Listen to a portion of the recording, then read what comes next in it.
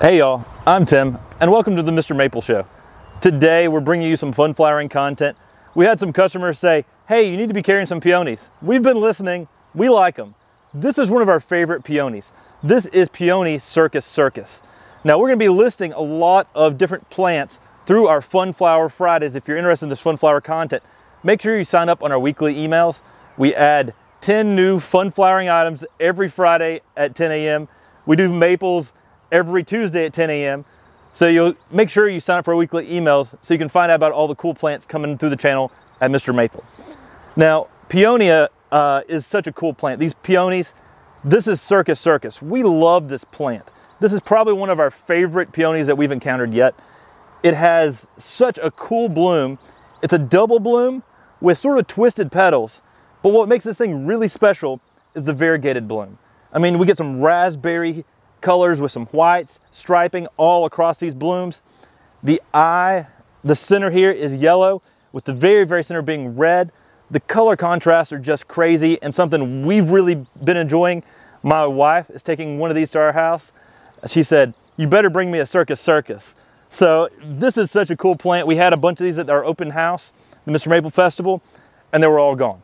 So we said, holy moly, let's really try some more of these out and see how they do through our mail order side. But this is such a cool plant. So if you really like peonies, make sure to post them in the comments because we may start carrying more peonies here at mrmaple.com.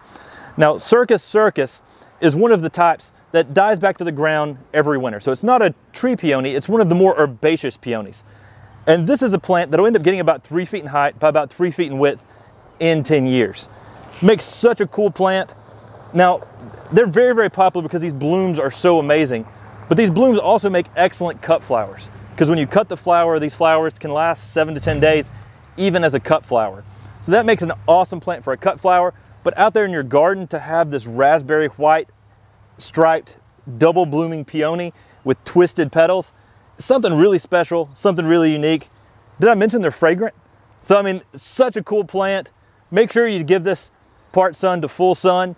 Uh, in hotter climates, you to give it a little protection from the hot afternoon sun, but Circus Circus is such a cool plant.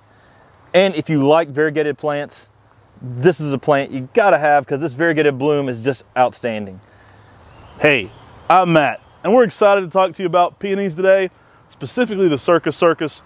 Peonies are one of my aunt and my grandmother's favorite plants, and for good reason. Now, these are a very cold tolerant plant, which is something that's often not talked about with peonies.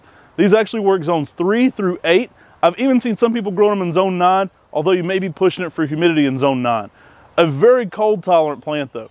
Now, peonies have a lot of great uses in the landscape, but one of the most popular is for cut flowers. Now, an easy way to get these at the perfect time is right when that uh, flower is more in that ball shape before it actually starts to leaf out. So you want to catch it. Uh, I actually watched a video and you know, P. Allen Smith says when it's in the marshmallow stage, that's what he calls it. It kind of looks like a marshmallow that bloom has started to come out. It's in a nice round ball. It hadn't quite hit to fruition there. That's the stage when you want to cut these. You can bring them in, you're gonna get the most out of your flower that way. So it's gonna be in that vase the longest and just have the best overall color. Now, do keep in mind that peonies are, are herbaceous plants. So these will die back down to the ground. Um, lovely plant for that kind of growth. Now, a lot of people talk about peonies being popular for ants, and they are. When they're at that stage and they're starting to unfurl, there's actually a slight sweet uh, juice that's emitted from the bloom, and they love to crawl over that bloom, but they're not hiding deep down in this plant. So don't be afraid to bring them inside. Simply, when you cut it, give it a good shake, dip it in some water, and that plant's ready to go into a vase. Now, Circus Circus with that white and raspberry style variegation on the bloom is an eye catcher. I brought my wife down here and drove her by these last night actually, and she was like, wow, I need one of those.